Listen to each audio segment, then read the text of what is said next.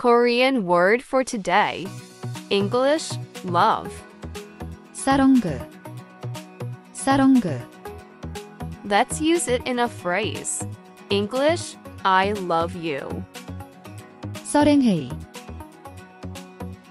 서랭헤이 Thank you for smashing the like and subscribe buttons.